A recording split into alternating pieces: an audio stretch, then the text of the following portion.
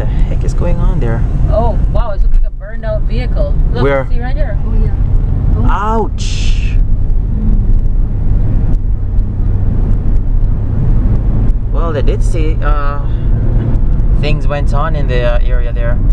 So coming back up to make sure I go There's two vehicle more. to do, you know, the police and stuff like that. So Uh huh.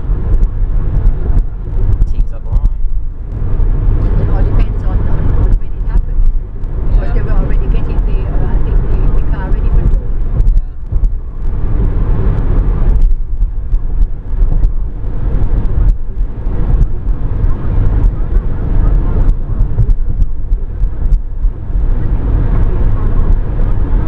What about me? I said the children were so pleased with themselves over the over the West Side Story performances. Yes. You know, they're just wow. The teacher was so incredibly happy and And attendance was quite good. yeah, I mean they did such a good job. I mean I just can't I, I, I thought it was actually way too much work for students. Yeah, they did spend quite a lot of time. You know.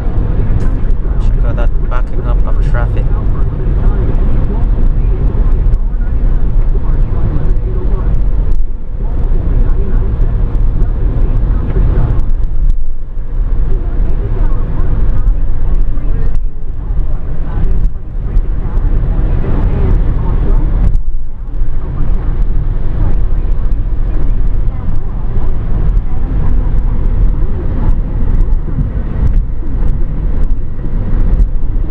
You know, because it's always such a, a thing with what jacket to get. Paging News Time 211, time for traffic and weather together with Christine Langos. This report is brought to you by YMCA. If you're on the eastbound 401, problems approaching McCowan in the Express have cleared. It's still slow though from the Don Valley Parkway in the collectors and from Warden in the Express, but that should all start to resolve itself over the next little while now that all lanes have been reopened. Westbound 401 from Keele to the 400 in the collectors, construction blocking the left lane. You'll find it busy from Bayview, alternately Express and collectors. Northbound DVP is heavy from north of Don Mill to York Mills and on the northbound 404 from Aurora Uh, road to Davis Drive. There's construction along that left lane. Southbound 404 Don Valley is busy approaching the 401 just south of York Mills.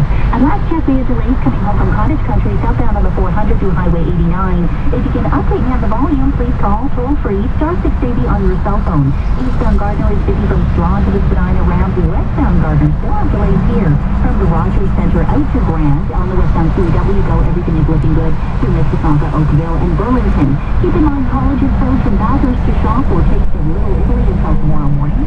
Closed, closed from Bay to Avenue Road for an event. Live here to build a community that gives everyone the opportunity they need. The YMCA is greatest level out. You can go to step to ask why not to ask the As a bit of forecast, the weather specialist John Wilson Showers may continue thunderstorm mode too. A weak one at least as they cross the area this afternoon. The cold front coming. 27 degrees is our guaranteed high today. 19 tonight after most of the path is on. We're holding a chance of a shower and early part of the night.